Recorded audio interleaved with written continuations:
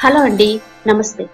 Welcome to విజయ మా ఊరు audio books channel నేను విజయలక్ష్మిని నవల స్రవంతిలో భాగంగా మీరా లక్ష్మి గారి నవల వైజయంతి ఆడియో పద్నాలుగో భాగం వినిపించబోతున్నాను. వైజయంతికి ఉద్యోగం దొరికింది.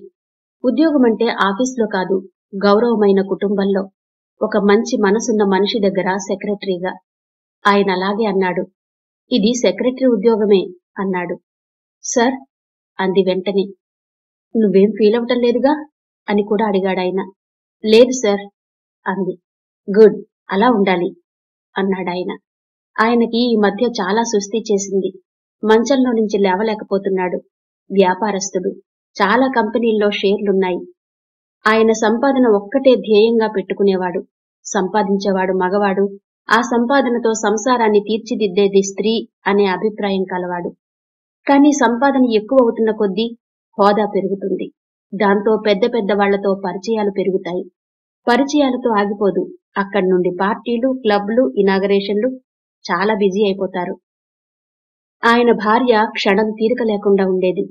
దాంతో ఇంటిని పట్టించుకోవడానికి కుదిరేది కాదు. అందరికీ వండి పెట్టడానికి వంట మనిషి వచ్చింది. పిల్లలు స్వేచ్ఛగా పెరగసాగారు. ఆయన భార్య యాక్సిడెంట్లో రెండేళ్ళ క్రితం పోయింది. భార్య మరణం ఆయన్ని బాగా కుంగదీసింది. గోరు చుట్టు మీద రోకటిపోటులా ఆయనకి ఈ మధ్య హార్ట్ అటాక్ వచ్చింది. భార్య చనిపోయే వరకు పిల్లలు ఎలా పెరుగుతున్నారో ఆయన పట్టించుకోలేదు. ఇప్పుడు ఆయనకి ఇల్లు ఓ నరకంగా ఉంది. డాక్టర్ ఆయన్ని బెడ్ రెస్ట్ తీసుకోవాలన్నారు. ఆలోచించొద్దన్నాడు. ఈ రెండోది ఆయనకి సాధ్యం కావడం లేదు. పిల్లలకి తండ్రంటే అసలు భయం లేకుండా పోయింది.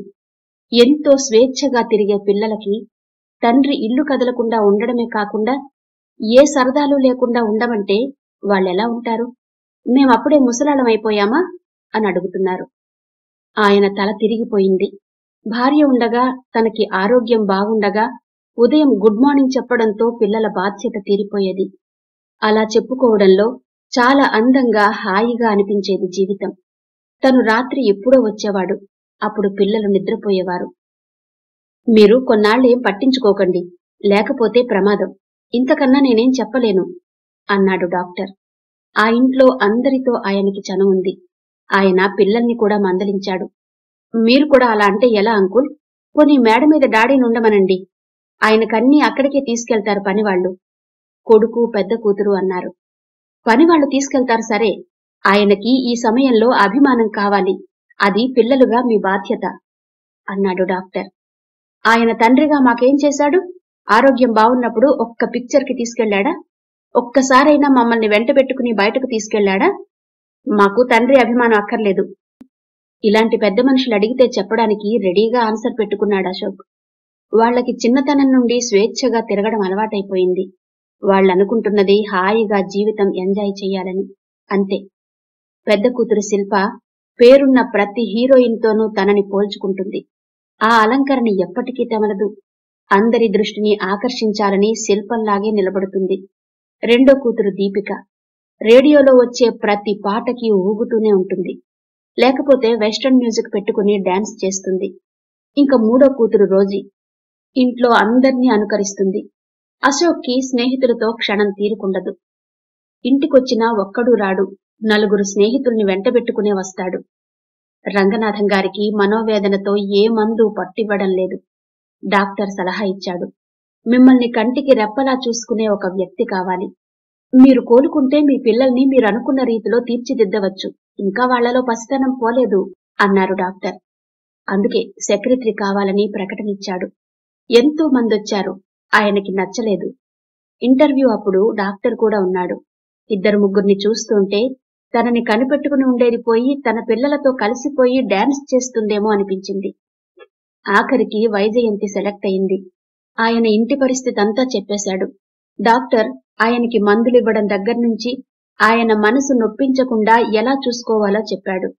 ఆయనకొచ్చే ఫోన్ కాల్స్ అన్ని రిసీవ్ చేసుకోవాలి. లెటర్స్కి రిప్లై ఇవ్వాలి.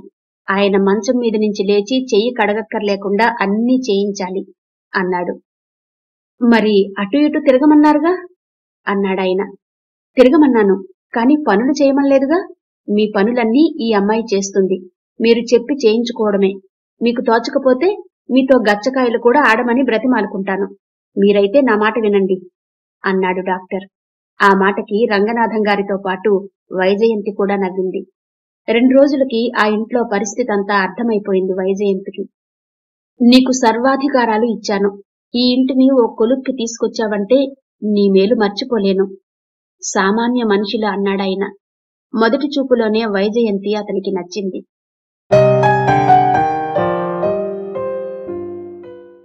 దీపిక రికార్డు పెట్టుకుని దానికి అనుగుణంగా డాన్స్ చేస్తోంది.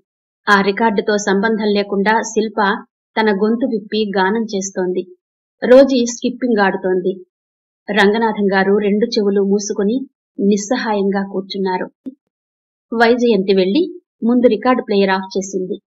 శిల్ప గొంతు దీపిక డాన్స్ రోజీ స్కిప్పింగ్ ఒక్కసారిగా ఆగిపోయాయి. దీపిక సీరియస్గా చూస్తూ కోపంగా అంది. ఎందుకు ఆపు చేశావు? నాన్నగారికి అంత డిస్టర్బెన్స్ పనికిరాదు కాబట్టి మామూలుగానే అంది వైజయంతి అది మాకు తెలుసు. ఈసారి మా పర్మిషన్ లేకుండా ఇలా రావడం బావుండదు. ఇక వెళ్ళొచ్చు అన్నట్టు చూసింది శిల్ప. తెలిసే ఇలా రికార్డు పెట్టి డాన్స్ చేస్తున్నారా? అడిగింది వైజయంతి. అనవసరమైన విషయాల్లో కలగ చేసుకోవద్దు అంటున్నాను. నీ పని నువ్వు చూసుకో అంది శిల్ప. నాన్నగారిని కనిపెట్టుకుని ఉండడానికి వచ్చిందాన్ని. ఆయనకి అసౌకర్యం అనేది ఏం జరిగినా నివారించే ఉద్యోగమే నేను చేసేది. ఈ రోజు నుండి ఇలాంటి సంగీతాలు డాన్సులు ఈ ఇంట్లో ఉండకూడదు. నాన్నగారు మామూలు మనిషి అయ్యే వరకు. ఖచ్చితంగా అంది వైజయంతి. శాసిస్తున్నావా? మీకు తెలియదనుకుని చెప్తున్నాను. ఏంటి గొడవ? అంటూ వచ్చాడు అశోక్. చూడన్నయ్యా ఉద్యోగానికొచ్చి నీతులు చెప్తోంది. ఫిర్యాదు చేస్తున్నట్టుగా అంది శిల్ప. నువ్వు నాన్నగారికి డ్యూటీ చేయడానికి వచ్చావా అందరి డ్యూటీ చేయడానికి వచ్చావా హేళనగా అన్నాడు అశోక్. ముందు మీరు డ్రెస్ మార్చుకురండి. అతని నుండి ముఖం తిప్పేసుకుంటూ అంది వైజయంతి. అతను టవల్తో ఉన్నాడు. వైజయంతి ఈ ఇంట్లో అందరితో పాటు అతనికి కూడా ఇష్టం లేదు. మాట కలపడానికి ఎప్పుడు సందు దొరుకుతుందా అని ఎదురు చూస్తున్నాడు. ఆ మాటతో అతను సిగ్గుపడ్డాడు. వెంటనే అక్కడి నుంచి వెళ్ళిపోయాడు వైజయంతి ఉండడం పిల్లలు నలుగురికే కాదు వంట మనిషికి పని మనిషికి కూడా ఇష్టం లేదు. వంటావిడ పని మనిషిని సంతోషపరిచి అందినన్ని ఇంటికి చేరవేసుకునేది.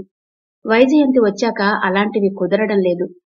అన్నగారు వెళ్ళిపోవడంతో దీపిక రోషంగా కాళ్ళు తల అన్నగారు వెళ్ళిపోవడంతో దీపిక రోషంగా కాళ్ళు నేలకేసి తన్ని అక్కడి నుంచి వెళ్ళిపోయింది అంత డబ్బుండి ఎవరికి ఆ ఇంట్లో క్రమశిక్షణ లేదు ఇంటి యజమానికి మనశ్శాంతి లేదు. తండ్రికి ఈ ఇంటి పరిస్థితి చెప్పే ఇక్కడ చేరింది వైజయంతి. రామశాస్త్రి బాధపడ్డాడు. ఇంట్లో ఆఫీస్ అంటే చిన్నతనమా నాన్న? ఇంట్లో ఆఫీస్ అంటే చిన్నతనమా నాన్న? ఆయన నీకన్నా పెద్దవారు. నా మీద నమ్మకం పెట్టుకున్నప్పుడు ఆయనకి సహాయం చేయడం తప్ప నాన్న? రాయిని కూడా శిల్పంగా వర్ణించి కళ్ళకు కట్టినట్టు చూపించగల నేర్పు సహనం నీకు భగవంతుడిచ్చాడమ్మా. నేను తప్పు అన్నా ఒప్పు అనిపించగలవు నువ్వు.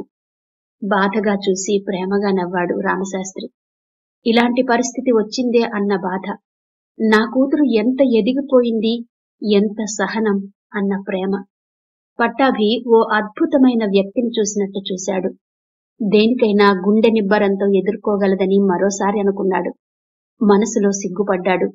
తను అక్కగారి గురించి సలహా అడిగినప్పుడు కాస్త గట్టిగా ఉన్న పాత బట్టలు సెకండ్ హ్యాండ్ బట్టలుగా అమ్మమన్నప్పుడు వెనకాడాడు. పాత బట్టలు ఇంటింటికి వెళ్ళి అమ్ముతారా అని ఎలా అడగాలి ఎలా అమ్మాలని అనుకున్నాడు. ఇప్పుడు వైజయంతి ఫలానా చోట చేరానని చెప్పగానే సారీ వైజయంతి గారు మనసులోనే క్షమాపణ చెప్పుకున్నాడు. వెంటనే ఆ పనికి పూనుకున్నాడు.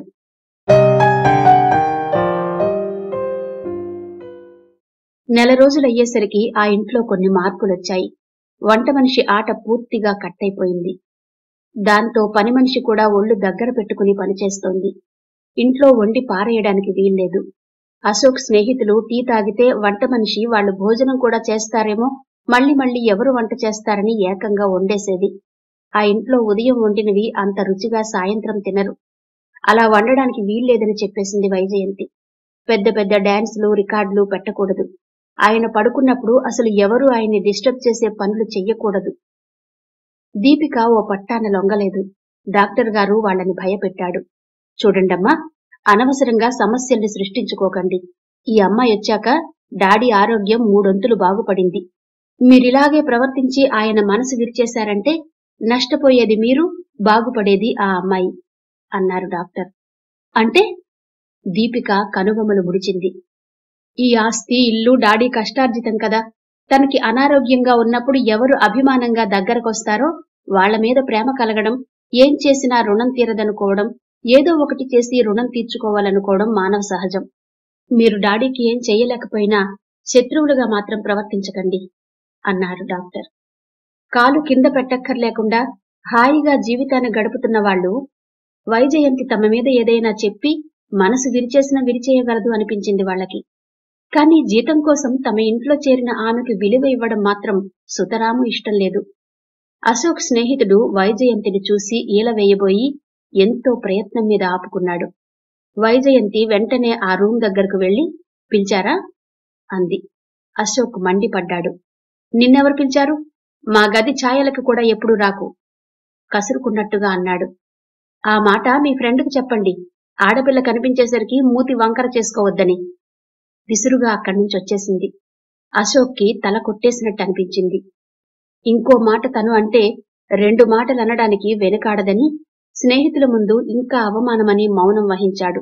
వాళ్ళు వెళ్ళిపోయాక విసురుగా వచ్చాడు. చూడు డాడీ నీకు పెత్తనమిచ్చారేమో కాని ఆ పెత్తనం నా దగ్గర సాగదు. కాస్త మర్యాదగా మాట్లాడడం నేర్చుకో. అదే మీకు చెప్పాలనుకుంటున్నాను. పెత్తనం మర్యాద అంటూ పెద్ద మాటలు మాట్లాడడం అట్టే మంచిది కాదు. అడగదలుచుకున్నది ఏమైనా ఉంటే సూటిగా అడగండి లేదంటే వెళ్ళిపోండి అంది వైజయంతి. ఆ చెప్పే తీరుకి అదిరిపోయాడు. కాని ఏమీ అనకుండా వెళ్తే లోకువైపోతాడన్న భయం రోషం. ఇందాక నా స్నేహితుల ముందు అలాగేనా మాట్లాడడం? ఇంటికొచ్చిన ఫ్రెండ్ని అవమానపరుస్తావా? కోపంగా అన్నాడు. ఫ్రెండ్ ఇంటికొచ్చి ఇంట్లో ఆడపిల్లని చూడగానే ఈల వేస్తాడా? చూడండి అశోక్ మీ ఎదురుగా నన్ను చూసి ఈల వేసిన మీ ఫ్రెండ్ రేపు మీరు ఎదురుగా లేకపోతే మీ చెల్లెల్ని చూసి ఈల వేయడానికి వెనుకాడడని మర్చిపోకండి అనేసి అక్కడి నుంచి వెళ్ళిపోయింది వైజయంతి. అశోక్ ఏమీ అనలేకపోయాడు. అలా అని ఊరుకోలేకపోయాడు. ఫ్రెండ్స్ ఏ చేతకానివాడిలా ఊరుకున్నాం? మేమే అయితేనా గెటౌట్ అని వెంటనే బయటికి గెంటేసేవాళ్ళం అని రెచ్చగొట్టారు. ఇప్పుడేదో గొడవ జరుగుతుంది. గెటౌట్ అందామని అనుకున్నాడు. గొడవేం జరగలేదు. పైగా తనకి బుద్ధి చెప్పి వెళ్ళిపోయింది స్నేహితులు అశోక్కి చాలా చక్కని సలహా ఇచ్చారు. దానికోసం మంచి సమయం కోసం ఎదురు చూస్తున్నాడు వేసవికాలం సెలవులేమో శిల్ప వాళ్ళకి కాలక్షేపం లేకుండా పోయింది. డాన్స్ చేయడానికి లేదు. క్యాసెట్ పెట్టుకున్నప్పుడు మంచి సీన్ వచ్చినప్పుడు అరిచి క్లాప్స్ కొట్టడానికి లేదు. ఓహ్ శనిలా దాపురించింది. అని తిట్టుకోసాగారు. రంగనాథం గారు అటు ఇటు కాసేపు తిరుగుతున్నారు లాన్లో. అప్పుడు కూడా వైజయంతి ఉంటుంది. ఆయనతో కబుర్లు చెప్తూ ఆయన లాన్లో తిరుగుతుండగానే శిల్ప దీపిక స్నేహితులు పది మంది వరకు వచ్చారు. ఇంక చూడు ఇల్లు పీకి పందిరేస్తారు అన్నారాయన అది వరకటి కన్నా చాలా నయం సార్. ఒక్కసారిగా మానేయమంటే ఎదురు తిరిగే ప్రమాదం ఉంది. వాళ్ళు మారతారనే నమ్మకం నాకుంది సార్ అంది వైజయంతి. నిజంగా అలాగే జరిగితే నా అంత అదృష్టవంతుడుండడు వైజయంతి. ఏ మందులు అక్కర్లేకుండానే ఆరోగ్యం బాగుపడిపోతుంది. ఆయన అక్కడే కుర్చీలో కూర్చున్నారు. వైజయంతి లోపలికొచ్చింది. అమ్మాయిల నవ్వులు కేరింతలతో గోలగోలగా ఉంది. ఎంత స్నేహితులైనా మనసులు విప్పి మాట్లాడుకుంటున్నా చాలా సిగ్గు విడిచి మాట్లాడుకుంటున్నారు. వాళ్ళు మాట్లాడుకునేవి అబ్బాయిల గురించి కామెంట్స్ వాళ్ళ అందచందాల గురించి. ఎక్కడా అడ్డు అదుపు లేకుండా ఉంది. శిల్పకి దీపికకి చాలా రోజుల తర్వాత స్వేచ్ఛ వచ్చినట్టుగా ఉంది. రెండు గంటలు కూర్చుని టిఫిన్ తిని టీ తీసుకుని వెళ్ళిపోయారు వాళ్ళు. వాళ్ళతో శిల్ప దీపిక రోజీ కూడా వెళ్ళారు వాళ్ళు వెళ్తుంటే శిల్పతో అంది వైజయంతి. మీరు వచ్చాకే నేను వెళ్తాను అని. అంటే తమని త్వరగా వచ్చేయమని చెప్పడమే అని అర్థమైంది వాళ్ళకి. సరే నిర్లక్ష్యంగా వెళ్ళిపోయింది శిల్ప. శిల్ప వాళ్ళు ఏడు గంటలు కాకుండానే వచ్చేశారు. రంగనాథం గారికి మందిచ్చి శిల్పతో చెప్పి వెళ్దామని వచ్చింది. పత్రిక శ్రద్ధగా చదువుతున్న శిల్ప చప్పున ఆ పేజీ తిప్పేసింది. ఆ పేజీ వైజయంతి కంటపడింది. అది వారపత్రిక. ఇప్పుడు చాలా పత్రికల్లో ఎవరైనా వస్తే గబుక్కున పేజీ తిప్పేసే పేజీ ఉంటోంది. అలాంటి పేజీలు శిల్ప లాంటి వాళ్ళు ఎవరు చూడకుండా చదువుకుంటున్నారు. అందులో ఇంట్లో ఆడదక్షత లేక ఇది తప్పు అని చెప్పేవారు లేక తమకి తోచిందే మంచిదనే అజ్ఞానంలో ఉండే ఇలాంటి వాళ్ళకి అలాంటి శీర్షికల మీద కూడా కుతూహలం పెరిగితే వాళ్ళని దారిలో పెట్టేవారెవరు? వైజయంతి చెప్పి వచ్చేసింది. మర్నాడు శిల్ప గదిలోకి వెళ్ళే ముందు రావచ్చా? అని అడిగింది. అదేంటి అలా అడుగుతున్నావు? అంది దీపిక. అంత అహంకారం ఆమెలో లేదు. ఏం లేదు నీకు ఇబ్బంది కలగకూడదని. నాకు ఇబ్బందా? నన్ను చూసి నిన్న పేజీ తిప్పేశావుగా? శిల్ప తలదించుకుంది చూడు శిల్ప నీకు నేను చెప్పడం ఏంటని రోషపడకుండా విను. ఇప్పుడింట్లో నాలుగు రకాల కూరలు చేస్తారు. దాంట్లో మనకి చాలా ఇష్టమైంది ముందు తినేస్తాం. ఆ తర్వాత అసలు ఇష్టం లేనిది అసలు ముట్టుకోం. చాలా ఇష్టమైన ఒంటికి పడదంటే అస్సలు తినం కదా? డాడీకి తీపి కారం ఇష్టం. ఒంటికి పడదు కాబట్టి అది తినరు. అలాగే మనకు అవసరం లేదు అన్న పనులు కూడా చెయ్యం. అక్కర్లేని పనులు లాభం లేని పనులు కూడా చెయ్యం. ఎందుకు? Time waste. లాభం ఉండదు కాబట్టి. నిన్న నువ్వు నన్ను చూసి పేజీ తిప్పేశావే? అది ఆ కోవకి చెందిందే. ఇంతకన్నా ఎలా చెప్పాలో తెలియక నాకు తోచిన రీతిలో చెప్పాను. గబుక్కున తిప్పేసే పేజీ ఇప్పుడు నీకు అనారోగ్యంతో సమానం.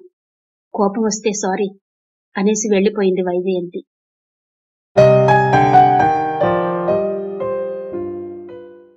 హేమంత్ని నవ్వించాలని చాలా ప్రయత్నాలు చేస్తోంది కల్పన.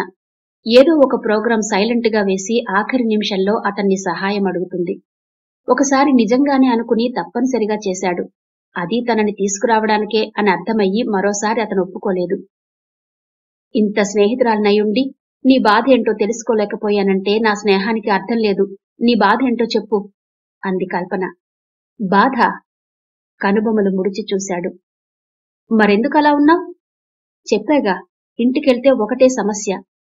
ఆ మాట నేను ఒప్పుకోను. వాళ్ళ ముచ్చట తీర్చడం నీకు సమస్య? తీరుస్తోంటే వాళ్ళు వరుసగా ముచ్చట్లు పడుతూనే ఉంటారు. అన్నాడు హేమంత్. ఆ మాటకి గట్టిగా నవ్వింది కల్పన. వరుసగా ఏం ముచ్చట పడతారులే? పెళ్ళి ఆ తర్వాత మనమలు. అంతే ఆ తర్వాత నీ జోలికి రారు అంది. అతను మాట్లాడలేదు.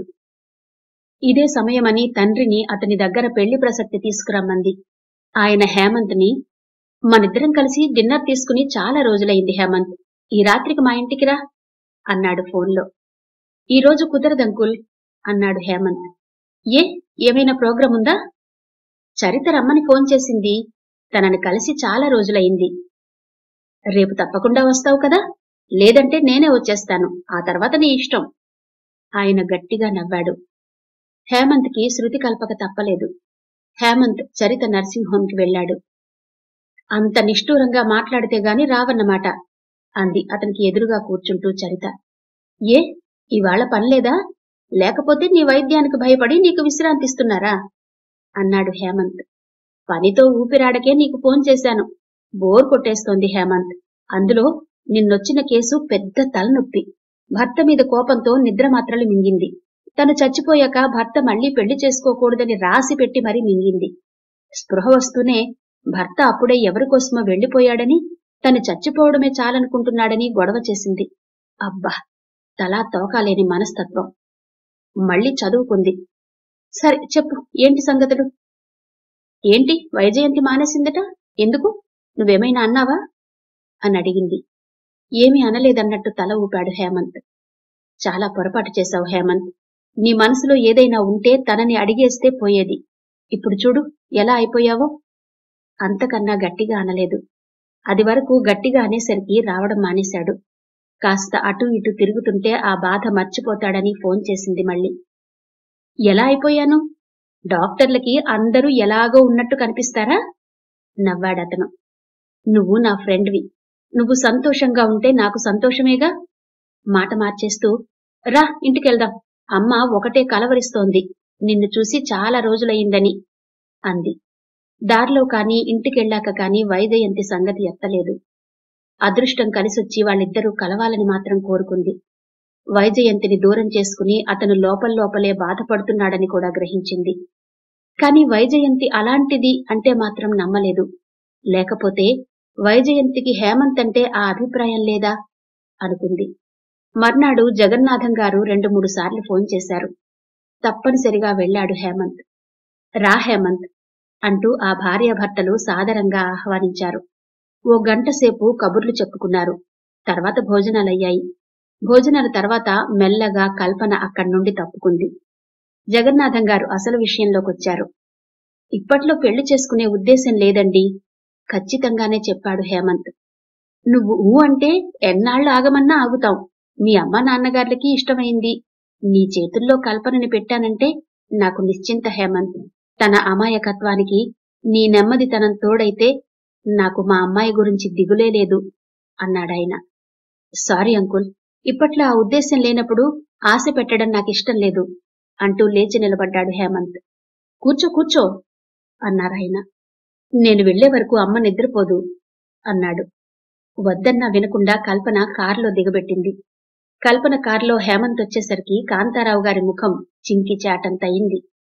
క్రితం రోజులా ఇంత ఆలస్యమైందే? అని అడగలేదు. తండ్రికి అదే సమాధానం రావడంతో ఇక కల్పనే తేల్చుకోవాలనుకుంది. చూడు హేమంత్ నువ్వేదో దాస్తున్నావనిపిస్తోంది. ముప్పై ఏళ్ళు దాటినా బాధ్యతలు లేకపోయినా ఇప్పట్లో పెళ్ళి ఇష్టం లేదు అనడం సబవుగా లేదు. ఎవర్నీ ప్రేమించలేదంటావ్? అంది మర్నాడు. ప్రేమించానంటే వదిలేస్తావా? వెంటనే అడిగాడు హేమంత్. కల్పన గుండెలు దడదడలాడాయి. నాకోసం నువ్వు అబద్ధాల కోరువు కానక్కర్లేదులే అని క్షణమాగి పెద్దవాళ్ళు మన క్షేమం కోరి చెప్తారు. వాళ్ళ మాటని తేలిగ్గా తీసి పారేయకూడదు. నువ్వెవర్ని ప్రేమించినప్పుడు నిన్ను ప్రేమించిన అమ్మాయిని పెళ్ళి చేసుకోవడానికేంటి? నేనంత చెడ్డదాన్నా హేమంత్? కల్పన మళ్ళీ మొదటికే వస్తున్నావు. పెళ్ళి మాట తప్పించి ఏదైనా అడుగు. పోనీ ఇద్దరం లేచిపోదాం? నవ్వుతూ తేల్చేయబోయిందామె. హాస్యానికైనా అలా అనకు. నీకు నచ్చిన వ్యక్తిని పెళ్ళి చేసుకుని హాయిగా ఉండు. నువ్వే నాకు నచ్చిన వ్యక్తివి. నువ్వు కాదంటే నేను జీవితంలో పెళ్ళే చేసుకోను. తెచ్చిపెట్టుకున్న సహనం సడలిపోతోందామెలో అలా అయితే నీ కంటికి కనిపించకుండానే పోతాను. ఆ తర్వాత నన్ను తిట్టుకోవద్దు అన్నాడు హేమంత్. కల్పన కళ్ళల్లో గిర్రున నీళ్ళు తిరిగాయి. నేనంటే నీకు అంత విరక్త హేమంత్? దగ్గుత్తికతో అంది. కల్పన ఒకదానిలో నుంచి ఇంకో దానిలోకి వెళ్తున్నావు. నువ్వు కాదన్నా ఎప్పటికీ నీ స్నేహితుణ్ణి. స్నేహితుడిగా నా సహకారం అన్ని వేళలా నీకుంటుందని చెప్పలేదు. ఇంత వ్యవహారం నడుపుతున్న దానివి. ఈ ఒక్క విషయంలోనూ చిన్నపిల్లలా ప్రవర్తిస్తావేంటి? మనసున్న వాళ్ళకి అర్థమవుతుంది హేమంత్. కాస్త మనసు పెట్టుకుని ఆలోచించు. నీకే అర్థమవుతుంది. అంది కల్పన. అతనికి చిరాకు కలిగింది. కాని ఏమీ అనలేక మౌనం వహించాడు. కల్పనైనా వదిలిపెట్టదలుచుకోలేదు. రోజు ఆ విషయం ఏదో రకంగా తీసుకొచ్చేది. తండ్రి ఈ సంవత్సరం పెళ్ళి చేసి తీరతానంటున్నాడని తనకి చావాలనిపిస్తోందని అనేది. జగన్నాథం గారు హేమంత్ ఇంటికి రెండు మూడు సార్లు వెళ్ళారు మా వాళ్ళు ఈ పక్క వీధిలోనే ఉన్నారు. దగ్గర కంటా వచ్చాం కదా అని మిమ్మల్ని చూసి వెళ్దామని ఇలా వచ్చాం అనేవారు. దాంతో కాంతారావు గారికి మళ్ళీ ఆశ చిగురించేది. చెప్పగా చెప్పగా హేమంత్ మనసు మారుతుందని కల్పన అభిప్రాయం జగన్నాథం గారిది కూడా అదే అభిప్రాయం. ఆఫీస్కొస్తే కల్పన. ఇంటికెళితే తండ్రి పిచ్చెక్కించేస్తున్నారు హేమంత్కి. అదే మాట అన్నాడు చరితతో. గట్టిగా అంటే ఏడ్చేస్తుంది. నేనది చూడలేను. అక్కడ మానేయడమే మంచిదేమో. వెనక్కి వాలి బాధగా కళ్ళు మూసుకున్నాడు హేమంత్. నీకు ఇష్టం లేదని చెప్పాక అదేంటి? ప్రశ్నార్థకంగా కనులు ముడిచింది చరిత. ఏమో నా మెదడు తినేస్తున్నారు. అలసటగా అన్నాడు హేమంత్. మనిషి చాలా నలిగిపోయాడు. ఏదో ఉంది అనిపించింది చరితకి. కాని పైకేమీ అనలేదు. మానయ్ వాళ్ళకి లేని మొహమాటం నీకెందుకు? ఎలా అయిపోయావో ఒక్కసారి అద్దంలో చూసుకో. ఎప్పుడు నిన్నిలా చూడలేదు అంది చరిత. అది అంత తేలికనుకోని చరిత అన్నాడు. ఇన్ని విషయాలు వాళ్ళు నీ గురించి ఆలోచిస్తున్నారా హేమంత్? కొన్నాళ్ళు మీ ఊరెళ్ళిరా మనసు ప్రశాంతంగా ఉంటుంది అని సలహా ఇచ్చింది చరిత.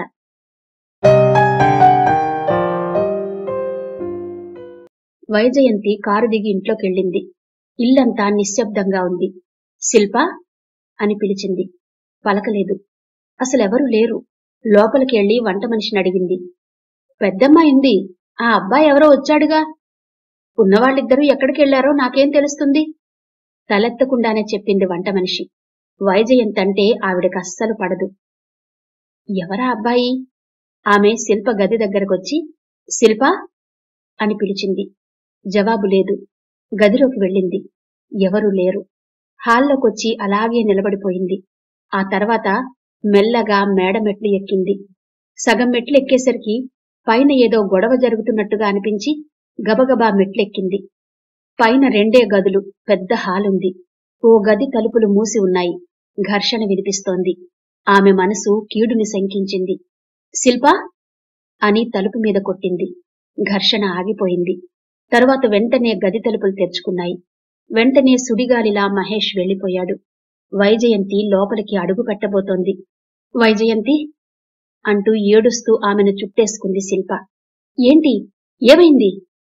ఎలా అడగాలో తెలియలేదు. ఏం జరిగిందోనన్న భయం. సమయానికొచ్చి నన్ను రక్షించావు. వెక్కిళ్ళ మధ్య ఎలాగో అంది శిల్ప. ఆమె తేలిగ్గా ఊపిరి పీల్చుకుంది. వీపు మీద ఓదార్పుగా తడుతూ కూర్చో. అంటూ అక్కడ మంచం మీద కూర్చోబెట్టి గ్లాస్తో నీళ్ళు తీసుకొచ్చి ఇచ్చి కళ్ళు ముఖం తుడిచింది. పావు గంటకి గాని మామూలు మనిషి కాలేకపోయింది. ఇంకా భయంతో వణుకుతూనే ఉంది. వైజయంతి ఒళ్ళో తల పెట్టుకుని అలాగే పడుకుంది. వైజయంతి ఏమీ అడగలేదు. కాని మహేష్ శిల్పకి ఇష్టం లేకుండానే చొరవ తీసుకోబోయాడని గ్రహించింది. ఆ మాత్రం ముందు చూపు శిల్పకి ఉన్నందుకు సంతోషించింది. క్రింద నుండి డ్రైవర్ పిలుస్తున్నాడని వంట మనిషి వచ్చి చెప్పింది. ఓ అరగంట ఆగమనండి అంది. నువ్వు వెళ్ళొద్దు వైజయంతి. ఏడుపు గొంతుతో అంది శిల్ప. వెళ్ళంలే అందామె. వెళ్ళంలే అందామె.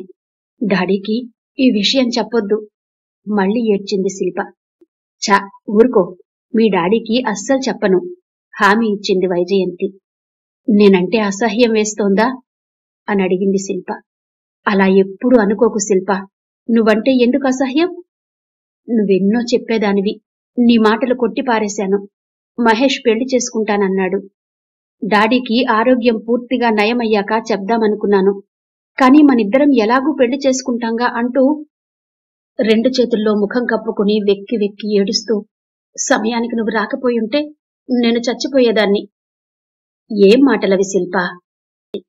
అప్పుడే శిల్ప? అంటూ పైకొచ్చిన అశోక్ శిల్పని వైజయంతిని చూసి ఆగిపోయాడు. అందులో శిల్పని చూసి ఆశ్చర్యంగా కనుబొమ అందులో శిల్పని చూసి ఆశ్చర్యంగా కనుబొమలు ముడిచాడు.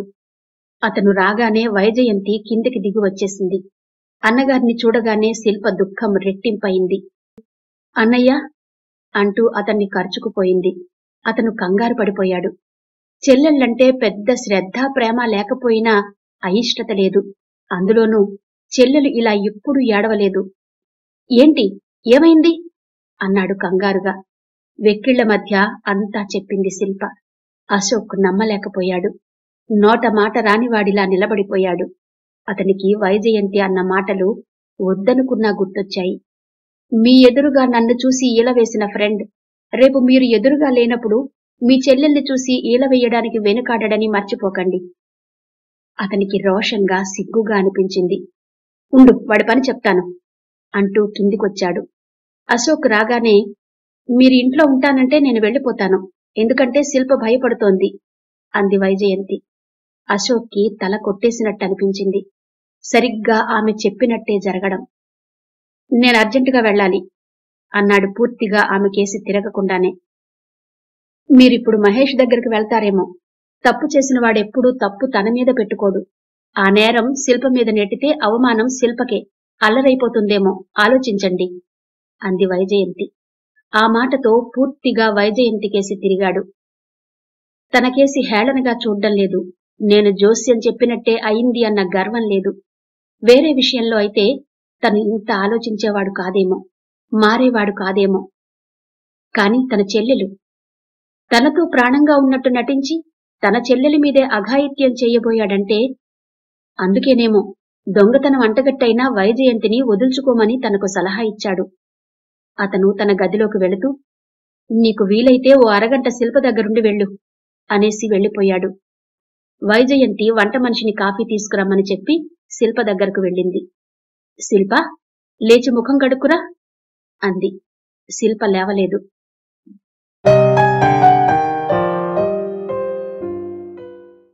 ఇంతవరకు వైజయంతి ఆడియో నవల పద్నాలుగో భాగం విన్నారు కదా? మిగిలిన కథ తరువాతి భాగాల్లో వినిపిస్తాను. అంతవరకు సెలవు. నమస్తే.